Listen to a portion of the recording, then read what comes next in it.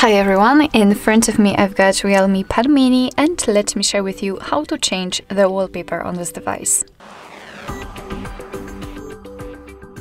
So uh, first of all we have to enter the settings, let's tap on it and find the display. Now let's tap on advanced and under it we will have the wallpaper. As you can see, we've got two different um, albums from which we can choose the wallpaper from. Here we've got Google Photos, which is basically your own gallery. You will be able to set your photo as a wallpaper. Or here we've got the wallpapers, which are pre-installed. So let me pick this option.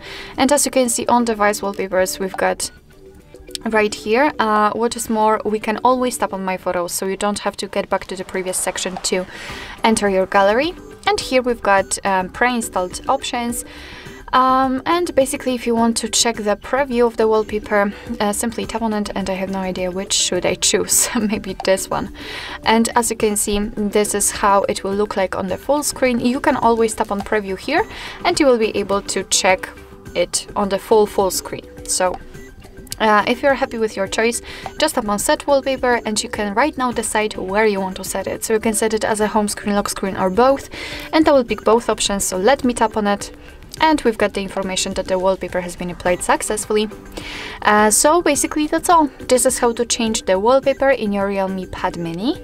Thank you so much for watching. I hope that this video was helpful and if it was, please hit the subscribe button and leave the thumbs up.